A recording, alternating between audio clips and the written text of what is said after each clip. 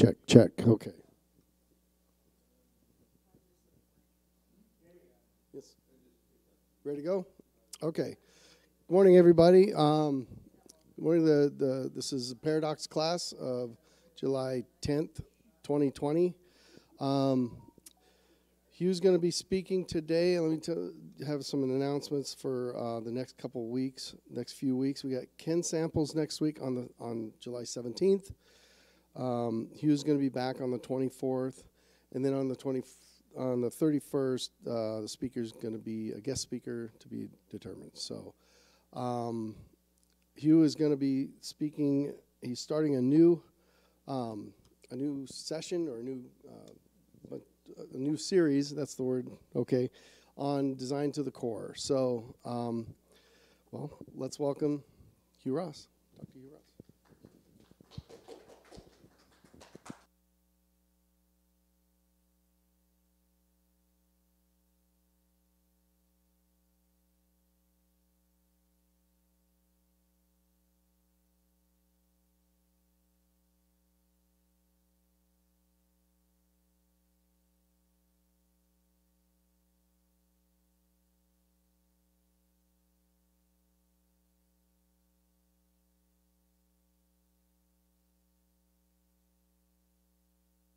On now?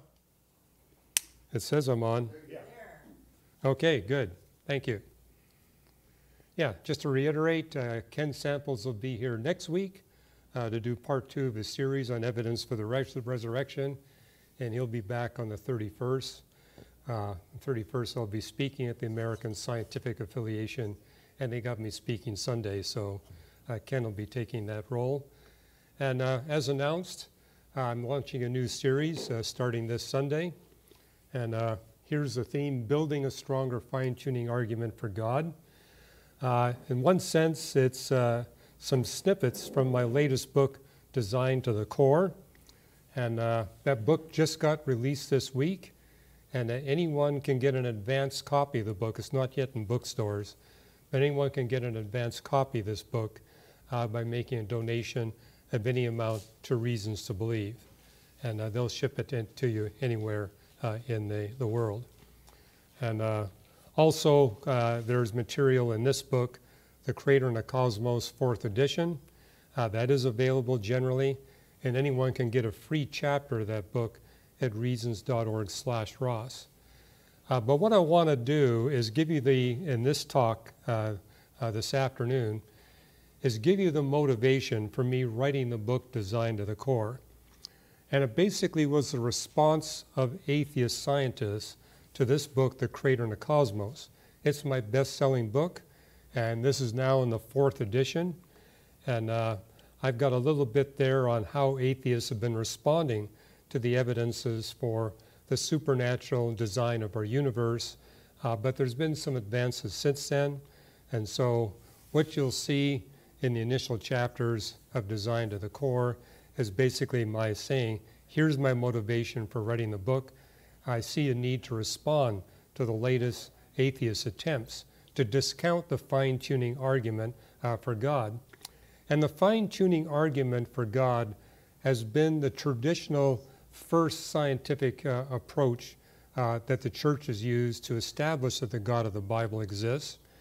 And uh, this has been the case for the past 2,000 years.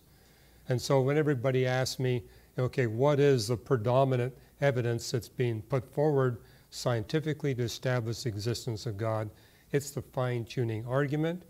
And if you were to go upstairs in this building to my office here at Reasons to Believe, you'll see I've got about 50 books written on the design of the universe.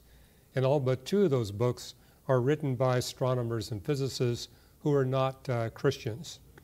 Uh, and the evidence today, in the words of the agnostic astronomer Paul Davies, has now become such that it's overwhelming. Uh, what he says in his book, The Cosmic Blueprint, the evidence for design in the universe is overwhelming.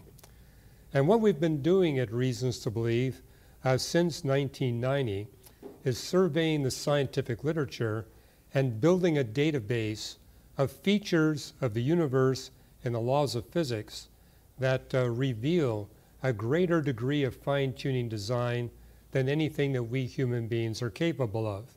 Basically, making the point that when we look at the fine tuned uh, evidences, fine tuned designs we see in the universe to make life possible, uh, we see a level of design that's far greater than anything we human beings have ever been able to achieve. Basically, making the point the creator of the universe must be a personal being, just like we humans are, uh, but is a personal being whose orders and orders of magnitude more intelligent, more knowledgeable, and more powerful than we human beings.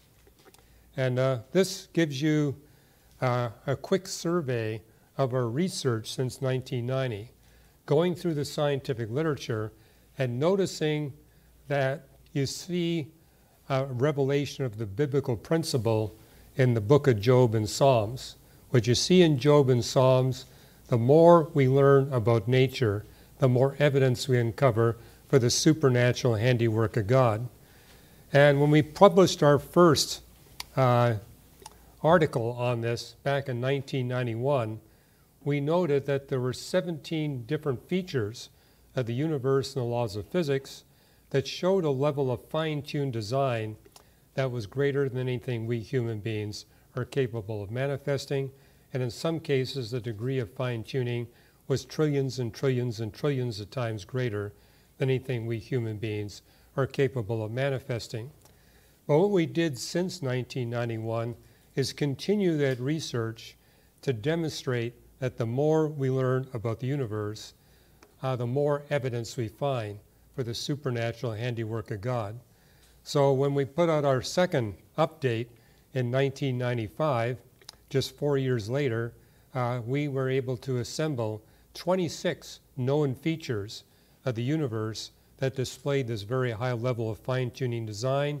And you can see the updates in 2001, 2004, 2006. Uh, one in 2009 that I didn't put up here is actually on our reasons.org website. If you go to reasons.org slash fine tuning with a hyphen or without the hyphen, it doesn't matter. It'll pop up for you a 300 page long online uh, database of cosmic fine tuning. Uh, and basically making the point that indeed the more we learn, uh, the more evidence we accumulate. And that 300 page compendium is that long because we actually give you all the papers in the scientific literature where this evidence is documented. And so today, uh, the evidence stands above 200 known features uh, that must be fine tuned. And as you can see there at the bottom of the slide, reasons.org slash fine tuning, you get a list of the features and you get the citations to the scientific literature. And you also get calculations of the degree of fine tuning we're seeing, basically making the point someone far more intelligent, knowledgeable, and powerful who transcends the laws of physics and the space time dimensions must have created the universe. And what I want to devote the remainder of uh, my talk this Sunday is looking at how uh, non theists, the agnostics, uh, the deists, and the atheists in the scientific community have responded to this. And they basically have come up with four critiques of the idea that the fine tuning stands as evidence uh, for the God of the Bible. The first one is that there's been a transformation of these books on the anthropic principle. I probably should give you a definition. The anthropic principle uh, is the idea that when we look at the universe, we see that it has fi- highly fine tuned parameters, numerous parameters that must be extraordinarily fine tuned to make possible the existence of humans or the equivalent of humans to exist in the universe. And again, if you look at the 50 books that are in my office, you do notice that there's an evolution in those books. The earliest books that were being published in the 1970s and the 1980s basically talked about the fine tuning that's necessary to get the equivalent of human beings to exist in the universe. But as you move from the 1980s to the 1990s and into the 21st century, you see that these books have changed and where instead of arguing for the fine tuning for the equivalent of humans, they argue for the fine tuning of what you ne- need to get to have microbes. And to have microbes, you have a whole lot less fine tuning. I mean, you see that in the 300 page compendium on our website that the degree of fine tuning uh, for humans is orders and orders of magnitude greater than what you need to get a planet, for example, on which you have bacteria. Uh, but the latest books uh, that are being uh, published uh, by non Christian astronomers and scientists, they're basically promoting the prebiotic anthropic principle. And that's what you see in the latest scientific papers on the anthropic principle. They're basically talking about what design do we need in the universe in order to have a universe in which you have amino acids and uh, nucleobases and sugars. We're not even talking what you need to get proteins and uh, you know, DNA molecules, RNA molecules, and lipids. They're simply saying, what kind of fine tuning do we need? And so the strategy here by the unbeliever is to redefine the anthropic principle so the level of fine tuning is many, many orders of magnitude less spectacular, and therefore they're claiming maybe we don't need the God of the Bible if the only objective is to get a universe uh, with uh, the capability of having amino acids, nucleobases, and sugars. Matter of fact, the latest papers I'm seeing, they actually go down to a level. What do we need to get the molecules that would make possible uh, the assembly of, uh, you know, say, hydrogen, uh, cyanide, carbon dioxide, and methane, uh, where you can get these amino acids. So now they're talking, what do we need to get the building blocks of the building blocks of the building blocks of the life molecules of uh, RNA, DNA, the lipids, uh, and uh, the proteins. And uh, this was called up in the scientific literature by an agnostic astronomer, a Brazilian agnostic astronomer. If you ever go to Brazil, this gentleman, Marcelo Gleiser, he's considered to be the Carl Sagan or the Neil deGrasse Tyson of Brazil. So he's a household name all over Brazil. But he actually published several papers exposing uh, this evolution in the anthropic principle. Now, I've actually got to meet Marcelo. I met him when I was at uh, Yale University. And uh, he calls himself an agnostic, but he says, really, my motivation is to expose the philosophical uh, games that are being played and why people are really not looking at the true evidence for fine tuning in the universe. And I found that he's really passionate about this fine tuning argument and does agree the fine tuning is indeed orders of magnitude greater uh, to get the equivalent of human beings as opposed to getting bacteria or even just to get the building blocks of the building blocks of uh, life molecules. But that's one approach that's been undertaken uh, by uh, non Christians in the scientific community and attempt to minimize uh, this evidence of a fine tuning design uh, for the God of the Bible. One that's become quite popular in the past few years is the puddle analogy. And uh, especially the last two years, this has been popping up in the scientific literature. Books have been written on this. And it's basically making the point there really isn't any fine tuning evidence. Uh, all this fine tuning to get life or to get human beings uh, is the same thing as if you were a pool of water in a puddle, and as a pool of water, you look out and say, ah, this uh, puddle is perfectly designed uh, for me to fit into it.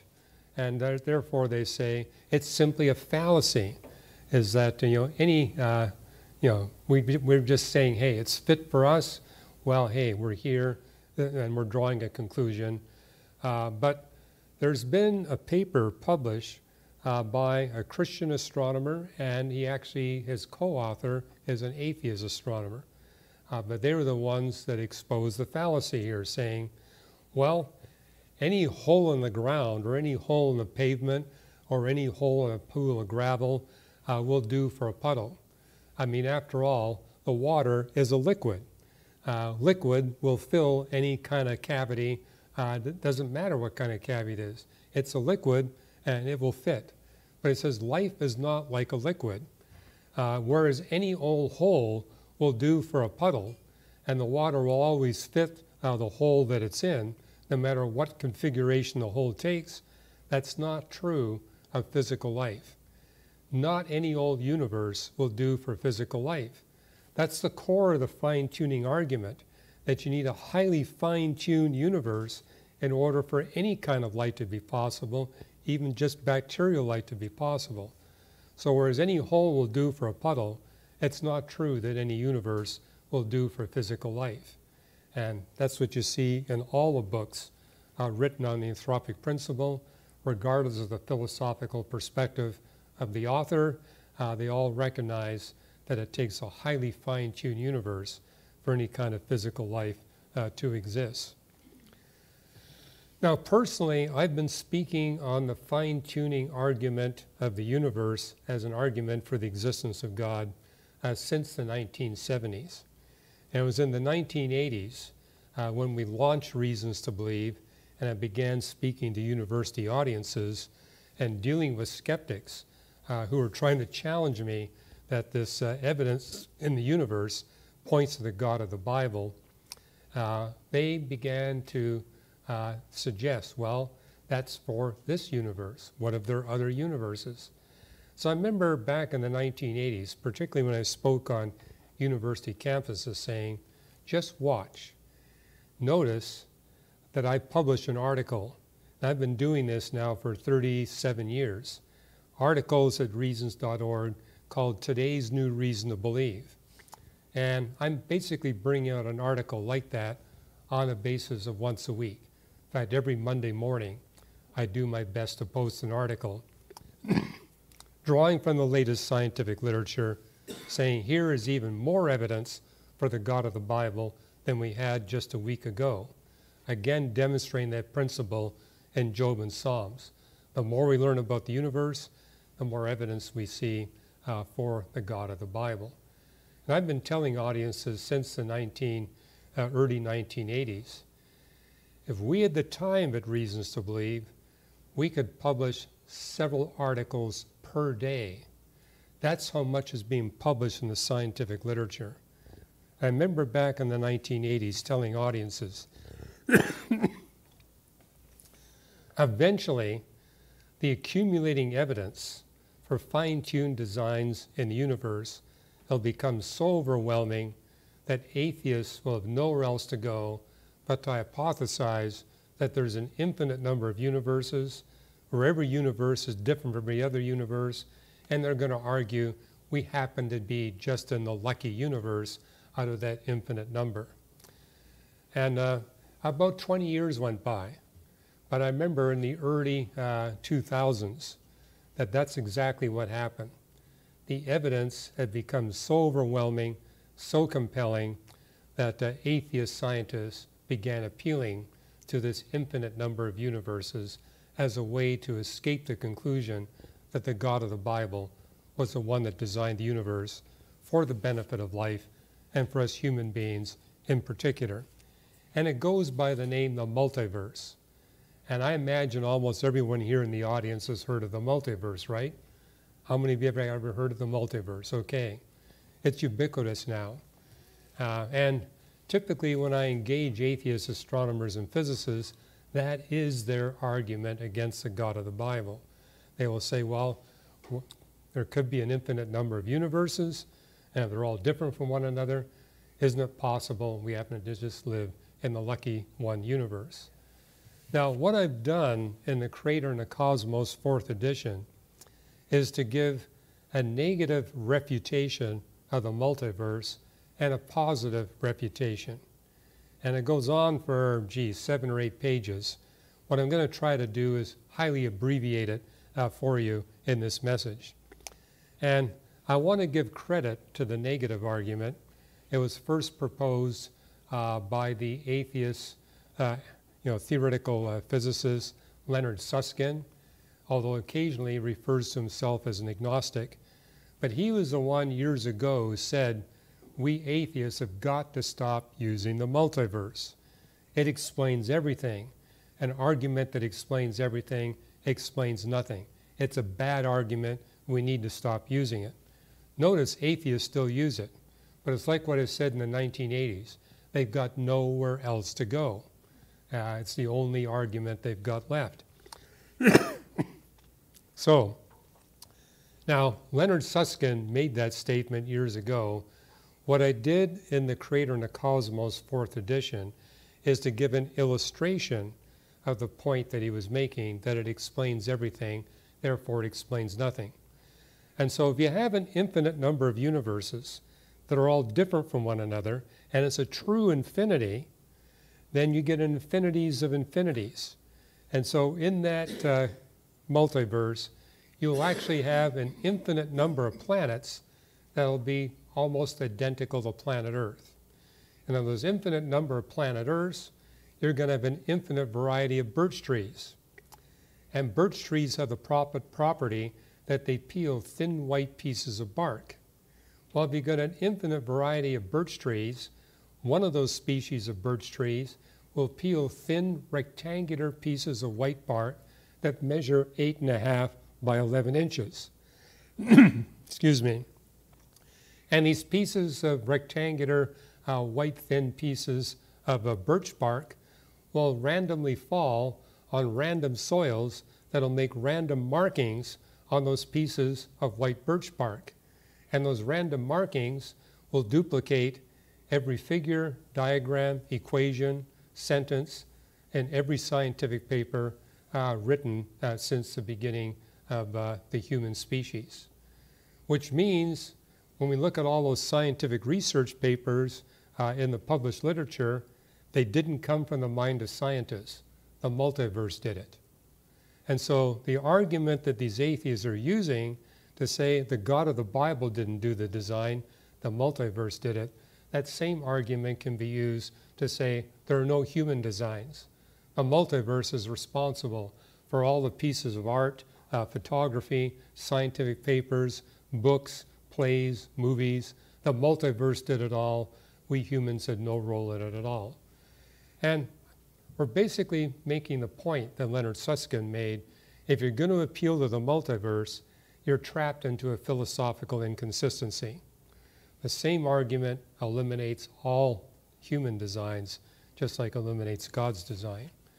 Now, I complemented that in The Creator and the Cosmos, fourth edition, with a positive argument. That if the atheist is right, that all this fine tuned design we see in the universe is simply the product of pure chance, then as we continue to study the universe in greater and greater extent and depth, that means that the evidence for fine tuned design to make possible the existence of life and humans in particular at some point is going to decline. It's going to stabilize and then it's going to decline. But if indeed this is the handiwork of a personal creator that's very intelligent, knowledgeable, and transcends the universe and created the universe, then we would anticipate that as we learn more and more about the universe, this evidence for fine tuned design will become greater and greater and greater. And as we've already demonstrated, that's been the testimony uh, since the early 1990s. The more we've learned about the universe, the evidence for fine tuned design for the specific benefit of us human beings has gotten exponentially greater. It's not just getting greater, it's getting exponentially greater with every year uh, that goes by. Well, the last one I want to deal with is the critique that we're dealing with a sample size of one. Because what you'll see in my fine tuning compendium at reasons.org is I'm making a statistical argument. Uh, but skeptics of Christianity have said when you're working with the universe, you're working with a sample size of one. Now, it's true that atheists who appeal to the multiverse are appealing to an infinite number of universes, but that appeal is an appeal to the unknown. Einstein's theory of general relativity tells us that once the universe gets old enough to have even the simplest forms of life, uh, then uh, observers within that universe will be unable to detect anything beyond the space time dimensions of the universe. And so today in the 21st century, we know with extreme certainty that general relativity reliably describes the movements of massive bodies in the universe uh, to about 15 to 16 place of the decimal. In fact, general relativity today stands as the best proven principle in all of physics, which means we can be extremely confident, and this is something both atheists and Christian scientists agree on, is that we are limited scientifically to only being able to explore this universe. If there are other universes, if God made a trillion other universes, there's no way uh, using our science we can detect the existence of those other universes. We're limited to the universe in which we live, which means if you're going to make an argument uh, for the fine tuning of the design of the universe, you're dealing with a sample size of only one. And so that's a major critique of the cosmic anthropic principle. But once again, if you were to go up to my library in this building and look at my 50 books in the anthropic principle, you'll notice that the books written by the non-Christian scholars, they stop at the level of the universe. And it's such that uh, if you look at the books on the anthropic principle, there's a general agreement that yes, the design is overwhelming, it's ubiquitous, it points to something beyond the universe. And uh, I find very few scientists, uh, when I speak at government labs or university campuses or research facilities, that would disagree with that. And people often ask me, how is it that atheists seem to be comfortable with this, and agnostics and deists? My response is, if we're talking about the fine tuning of the universe, the universe is extremely big and extremely old, and that permits the non Christian research scientists to keep God at an arm's length. We're talking this distant universe. We're talking a sample size of only one. And when I'm reading in the latest books being put out by atheist astronomers and physicists, they will state in their books that they're atheists. But they also concede in their same books that they cannot take deism off the table. I mean, for example, you can read the books by Lawrence Krauss, who's probably the most famous atheist scientist here in America. And uh, he makes that concession uh, in his book, A Universe from Nothing, uh, that scientifically we can't take deism off the table. Uh, the door is open uh, for a God beyond the universe being the one that created the universe. But he's comfortable with that because in deism, you've got a God that intervenes 13.8 billion years ago, and after that, basically ignores his creation. That's kind of the difference between deism and theism. In deism, you've got a God beyond space and time that creates 13.8 billion years ago, sets everything in motion, and then ignores his creation. Theists, on the other hand, believe that God indeed was active in creating the universe 13.8 billion years ago, uh, but has been miraculously engaged with his creation continuously throughout those 13.8 billion years.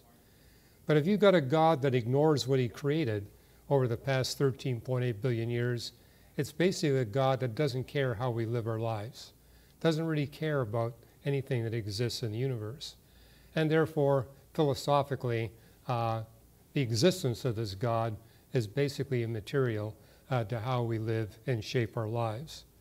And so, what I want to do next week is basically say why I wrote uh, Design to the Core is say, okay, we have this general concession amongst research scientists that when we look at the universe, we see overwhelming evidence for design.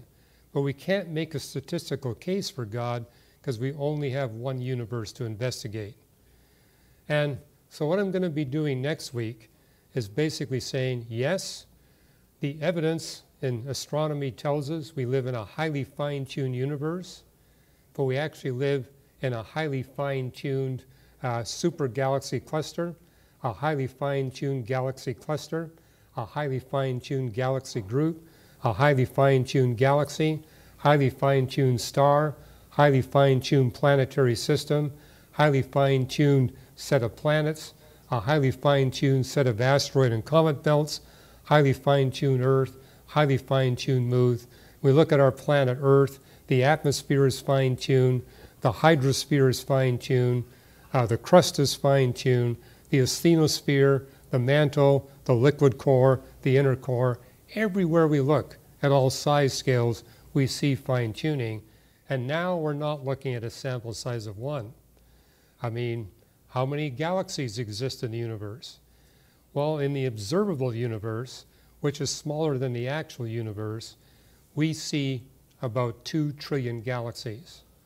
So now we can look at our galaxy, and if it has extraordinarily fine tuned features that we don't see in any of the other 2 trillion galaxies, we no longer can be refuted by saying your sample size is too small.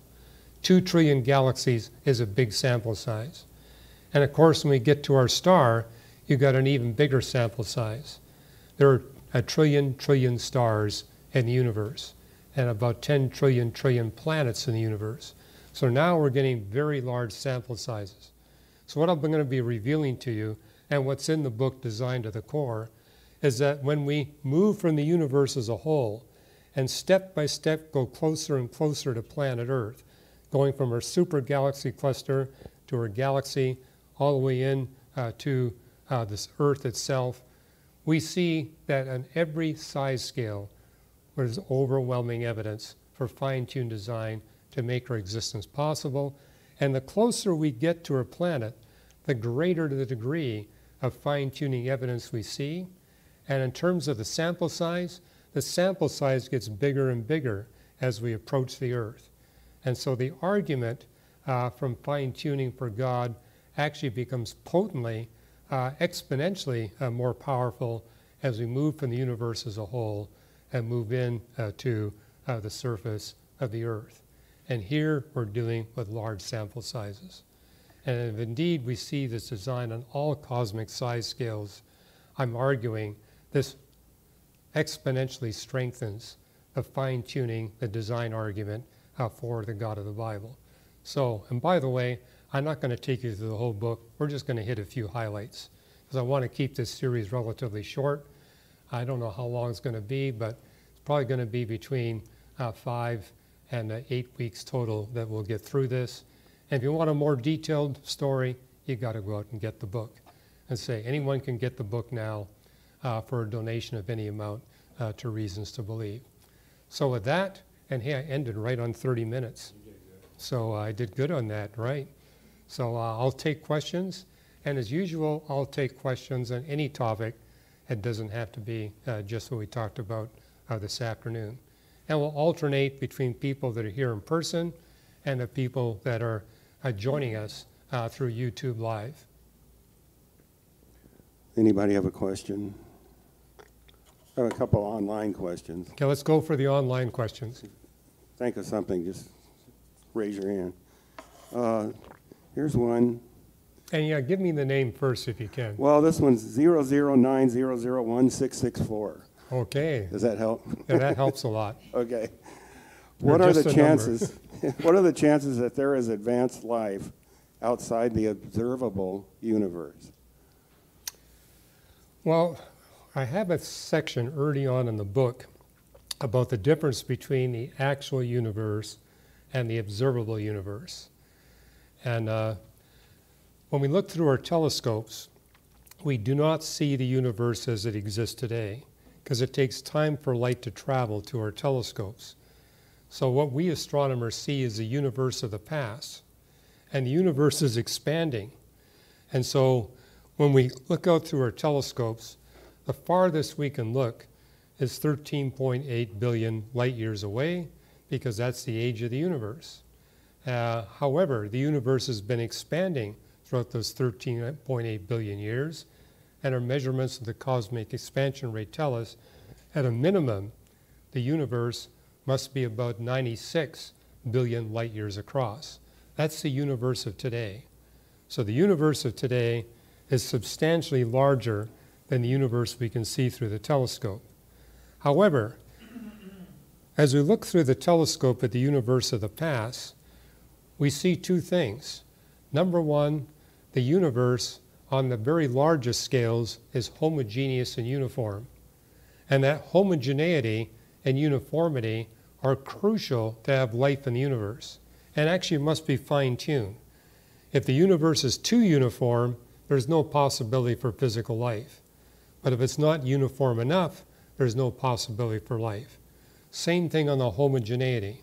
If it's too homogeneous, no possibility for life. But if it's not homogeneous enough, there's no possibility for life. But very approximately, the universe measures to be uniform and homogeneous. And for light to be possible, those characteristics would also have to apply to the universe of the present, not just the universe that we can observe, the universe of the past. The second data point we get is that when we look in detail, and you'll see a lot of this in the book Design to the Core, particularly when I talk about galaxies and galaxy clusters. We can observe galaxies, for example, 10 billion light years away, which means we're seeing their characteristics as they were 10 billion years ago. But those characteristics we see actually are a very good predictor of what that same galaxy looks like today. So we actually have a lot more power than lay people think. Even though we're looking at galaxies uh, as they were 5 billion years ago, 10 billion years ago, uh, what we see in those galaxies actually is a good predictor of what the galaxies look like today. And therefore, uh, even though we're limited to the observable universe, that does tell us a lot about the universe that we're not able to see. And kind of the point I'm making in uh, Design to the Core, if you actually look at the fine tuned design evidence on the largest size scales in all possible size scales, all the way down to the interior of the Earth, it does make a compelling case that in terms of a habitat uh, where advanced life, the equivalent of us human beings, could exist, it seems highly probable that we are alone. Everywhere else we look in the universe, we see conditions that are hostile for advanced life. That doesn't eliminate microbial life. There are many astronomers who do believe that there might be a place where microbes could exist, especially if we're talking microbes uh, that exist for just a short period of time. But this is where our book Origins of Life comes in, because we make the point in the book Origins of Life no matter how big the universe is, no matter how old it is, in order for life to be there, you need the supernatural intervention of the God of the Bible. Life cannot come from non life. Yes? Uh, seeing the, the fact that astronomers look back into the past, does that mean that Andromeda is much, much closer to crashing into the Milky Way than what we observed? That's a little bit closer. I mean, yeah, the, the question is uh, the Andromeda galaxy, we're seeing it as it was in the past, and it's actually on a, a collision path towards uh, our own Milky Way galaxy. Presently, is it closer to us than what we see through the telescope? And the answer is yes. Uh, it is on a path towards, it's not on a direct path, it's kind of a little bit off uh, directly uh, colliding with us. But it's such that the gravity of our galaxy and the gravity of the Andromeda galaxy are such that that path that it's taking is going to bend and head right towards our Milky Way galaxy. A collision is inevitable. However, astronomers have been able to calculate an estimated date for the merging of our Milky Way galaxy with the Andromeda galaxy it's about four to four and a half billion years, about four and a half billion years into the future that that event will take place. The Andromeda galaxy is two and a half million light years away. And so uh, what we see through the telescope in terms of its distance, it's actually a little bit closer if we actually think about where that Milky Way galaxy is today. Uh, but not a whole lot closer. Uh, question online here. Um, Mark Wilburn, uh, he's got a couple of questions, but one is, uh, He's gotten pushback about Revelation 21 and there not being a sun or moon ver- verses. They are not needed, but they are still present along with the entire universe.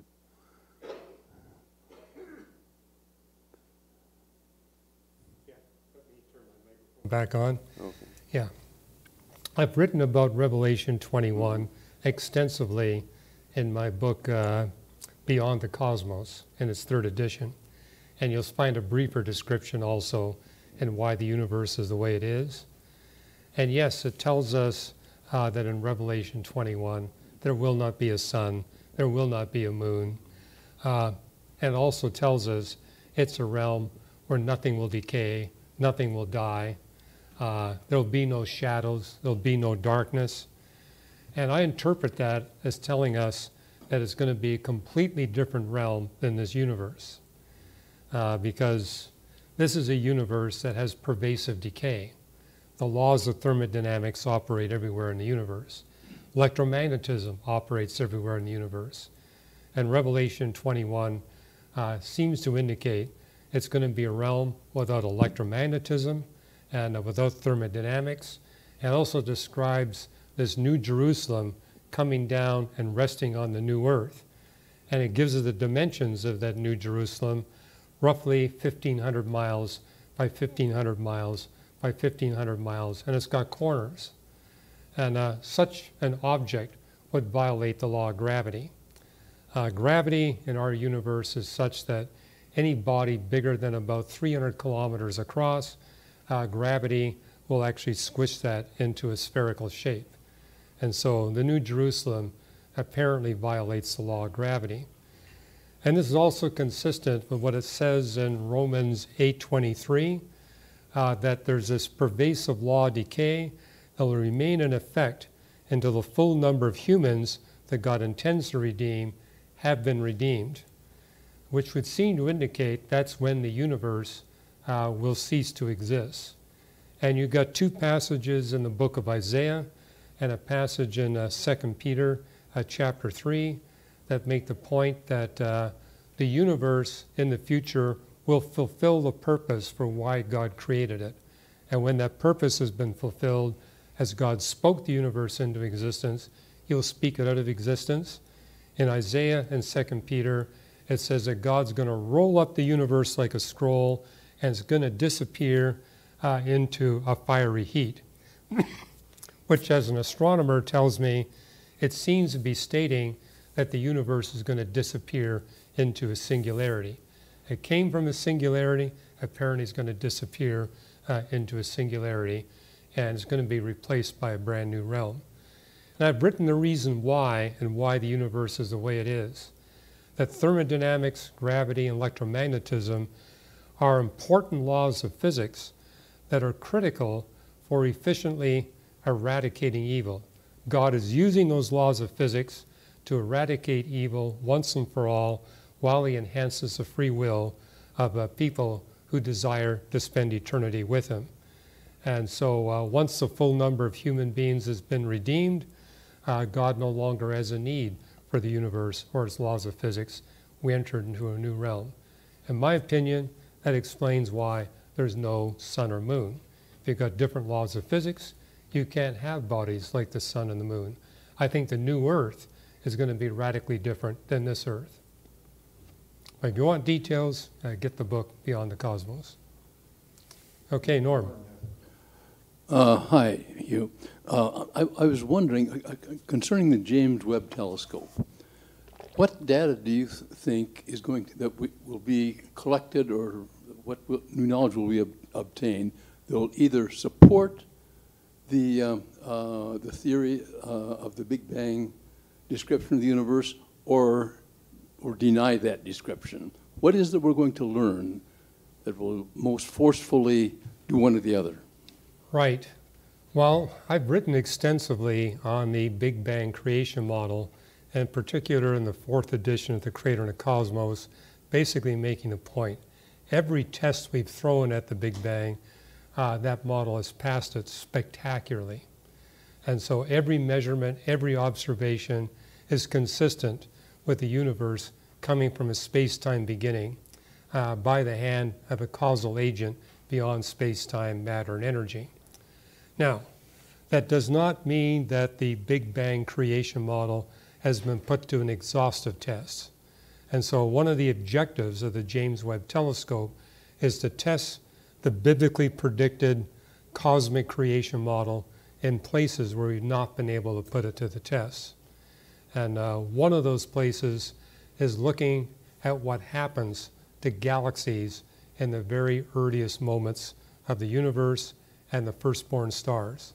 So, one of the big objectives of the James Webb Telescope is to discover and measure the spectra of the very firstborn stars in the universe, and likewise to see how the first galaxies form.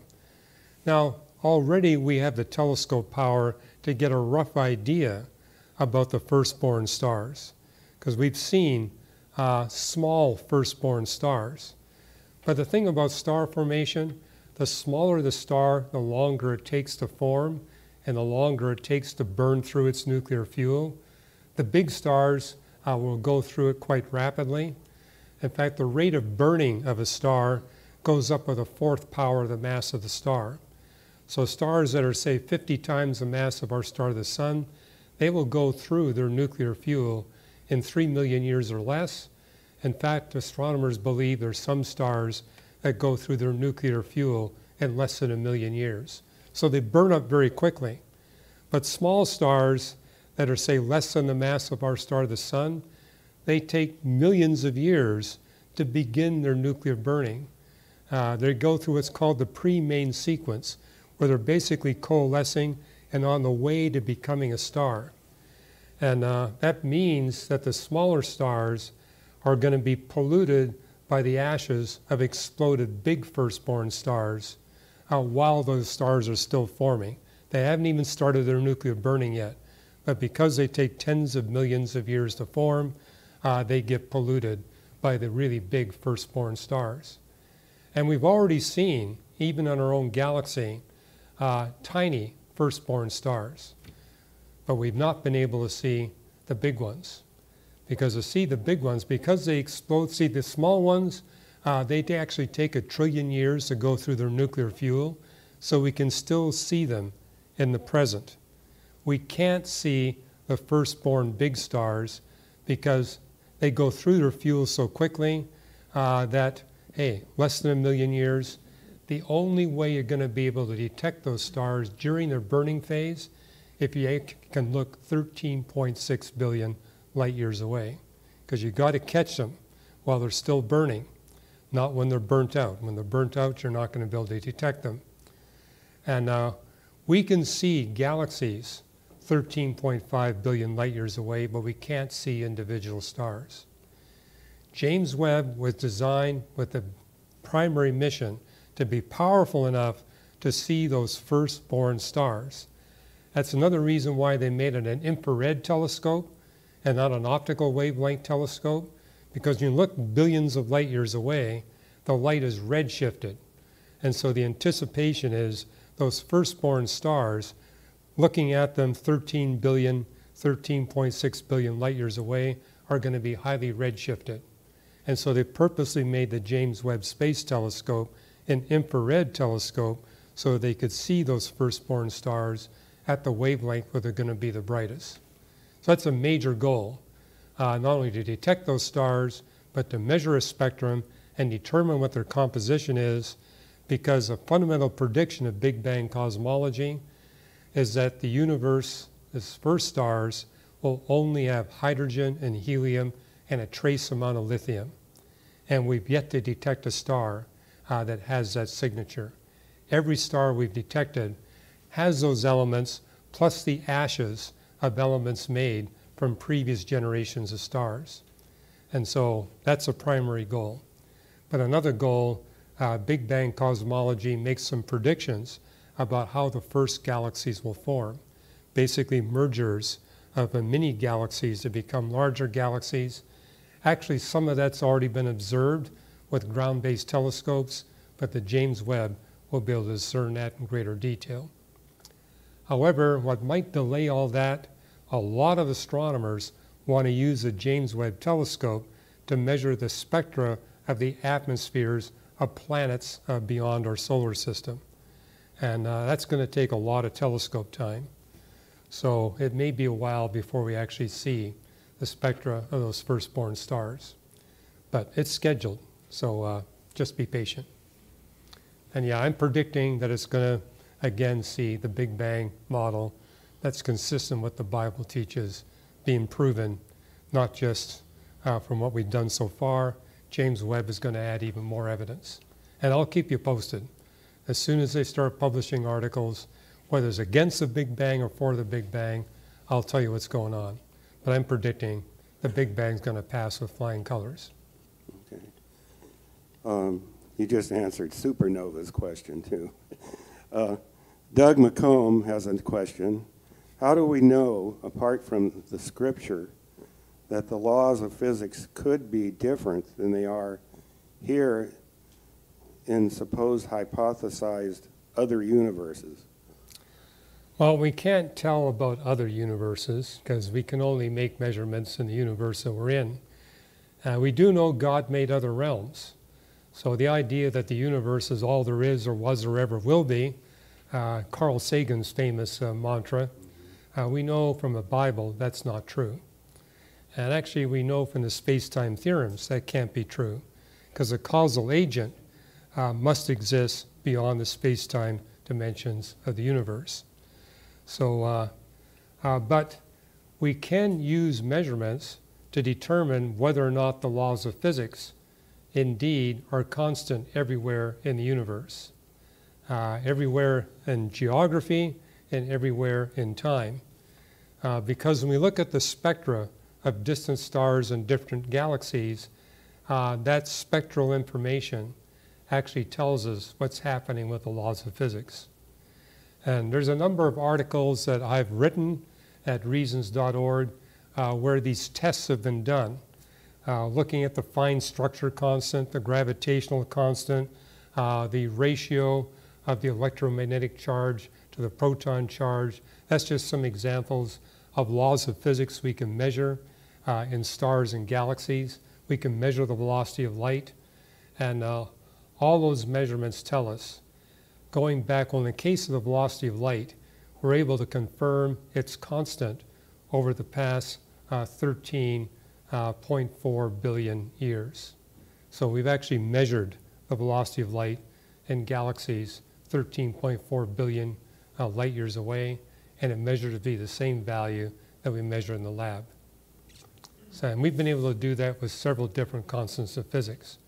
So we can do that back in time, and we can also do it ubiquitously across the space of the universe. And that's something the Bible declared thousands of years ago that the laws that govern the heavens and the earth are fixed. As they don't change, uh, God doesn't change. God actually used that as an example of his immutability. See those laws, as they don't change, I don't change. But we can actually prove that uh, through astronomical measurements. Say, to what degree? uh, we can show that the laws of physics are constant to within one part uh, per uh, sextillion uh, per year. So we're talking 18 places the decimal. Let's see, it looks like our audience is out of questions, but we have more online ones. Okay, And we you're can okay on take uh, time. questions for another six minutes. Okay. Uh, Mark Wilburn again. Uh, addressed the argument from a scholar that Romans 8, 18 through 22 indicates the earth will be restored. Yeah, I'm not sure what he's referring to there in Romans 8 18 to 22. It does talk about how the universe is governed by this law of corruption, as some English translations say, other translations of pervasive law of decay. So it's basically saying this law of decay operates everywhere in the universe. And verse 23 says, A time will come when that pervasive law of decay will no longer be in effect. That will happen when the full number of humans that God intends to redeem have in fact been redeemed. But I personally see nothing in Romans 8 that suggests that this planet Earth is going to be restored. Now, what you do see in the Bible, it talks about how our relationship with our Creator will be restored. A reference to the fact that Adam and Eve, before they sinned, uh, had a relationship with their Creator. But sin broke that relationship. And the death of Jesus on the cross restored that relationship. And the Holy Spirit's in the business of restoring that relationship with human beings who desire that restoration.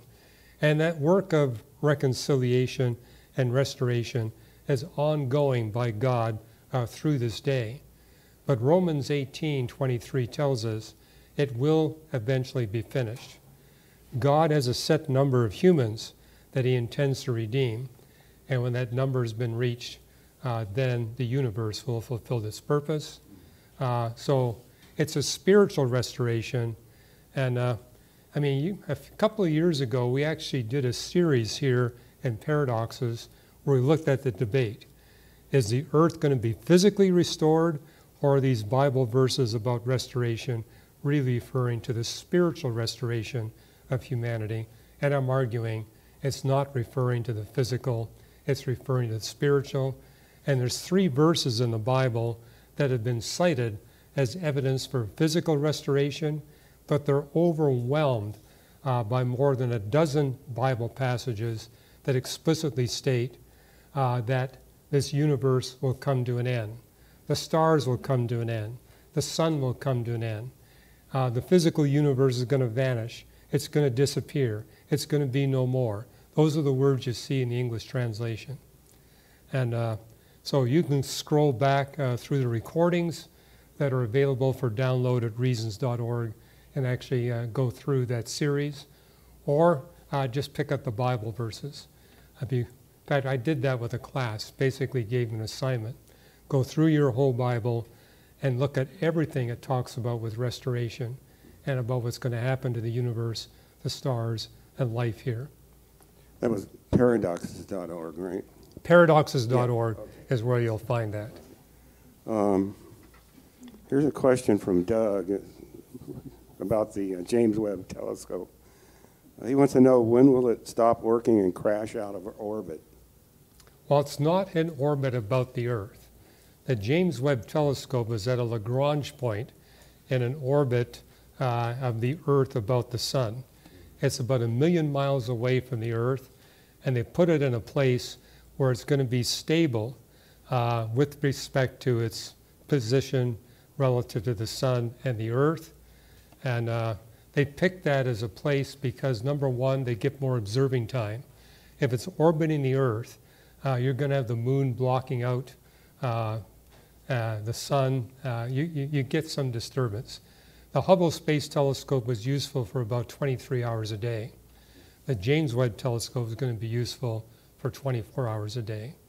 So it's going to make possible uh, research otherwise wouldn't be possible. The downside is, and actually there's an article published on the web yesterday saying there's already been one micrometeorite that's hit the James Webb Telescope, and there's some concern that micrometeorite damage could limit the lifespan of the James Webb Space Telescope. But the goal is that it will be maximally productive for at least a decade. That's the goal. Okay, we're at about the uh, stop time here. So uh, join us next week uh, when Ken Samples will be here uh, for part two of this series on uh, evidence for the resurrection. And if you missed part one, you can download it at paradoxes.org. Can you close us in I'll prayer? close us in prayer, yes. Father in heaven, we thank you for this day that you've given us. We thank you for every day. It's a privilege to live here on planet Earth and uh, to be a witness to what you've done, to receive from you uh, your grace uh, your uh, love, your uh, life, and your truth. So open up our hearts. May we not close ourselves off to you and receive from you the knowledge, the wisdom, and understanding, and grace and love that you desire to pour upon us. And help us to share them with others we meet throughout this day, throughout this week, throughout this month. In Jesus' name, amen.